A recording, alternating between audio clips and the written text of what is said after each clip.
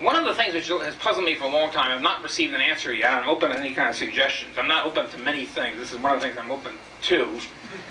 And that is, why is it that, that the voters apply a much bigger, different standard to us than they do to the Democrats or Republicans? They vote for the Democrat, Republican, well, oh, this guy's a little bit better for him.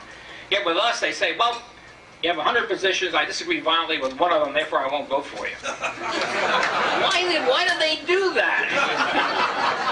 why, why do they have to agree with every, every damn one of the planks until they vote for us? I, don't, I still don't understand this. Uh, maybe psychobabble has a place after all, kind of explain this. Uh, Gene Burns was a, a, a, a uh, sometime candidate for president. I think he was just a great candidate. Unfortunately, things happened and he never continued to, to be nominated to the nomination. He has a great, I think, a great concept. By the way, he's one of the greatest speakers I've ever heard, bar in any party. Anyway, his, concept was the freedom train concept, which I think is terrific. Namely, he, was, he said this, of course, much better than I do. So he's a radio talk show host and he's a great voice. He said basically, look, if you don't agree, we have a freedom train. We're going on the way to freedom. I invite you to get on the train. If you don't like what we're, you know, after we go 80% of the way or 60% or 90%, you're free to jump off or get off at any time. But join us in the meantime. I think it's a great metaphor, and I think it's terrific.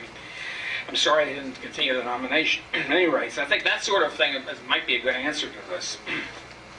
Nobody wants you to agree 100% on the thing. I mean, it'd be great if you did, but we don't require it as a condition for voting for us.